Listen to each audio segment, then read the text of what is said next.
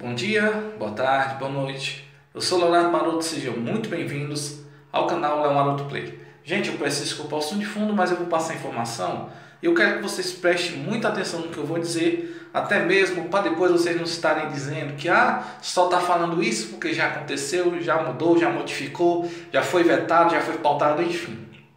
Várias pessoas entraram em contatos com a gente nas redes sociais pedindo informações dessas possíveis mudanças é, para as próximas parcelas, tanto para os beneficiários do Bolsa Família quanto para quem recebe pelo aplicativo Caixa Tem.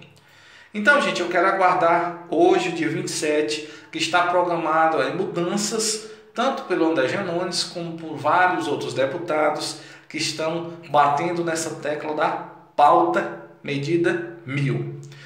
Por que eu quero ser cauteloso? Porque, gente, isso vem desde a primeira parcela da extensão. Agosto, teve setembro, agora tem outubro, dia 20, dia 23.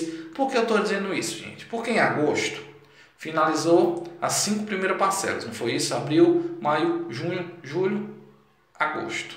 E já no começo eles estavam querendo que a medida continuasse e as parcelas de 600, 1.200 e 1.800 continuassem sendo pagas, não aconteceu. A extensão continuou com 360 reais, eliminando aquela terceira cota. Então eles vieram debatendo, vieram debatendo, enfim. Chegamos em outubro, dia 20 de outubro, eles disseram que ia ter mudanças, não aconteceu. Dia 23 de outubro ia ter mudanças e não aconteceu.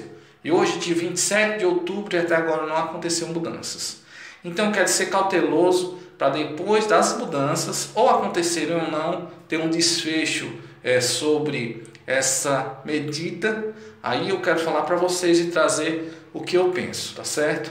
Não que eu esteja contra vocês de maneira alguma, só quero ser cauteloso para falar. Por quê? Porque cada vez que ele dá uma data, as pessoas se enchem de esperança e quando passa aquela data e nada modifica, as pessoas começam a se sentir angustiadas, tá certo? Por isso que eu vou esperar dia 27 passar, para falar qualquer coisa sobre a prorrogação, sobre a pauta, sobre a medida mil.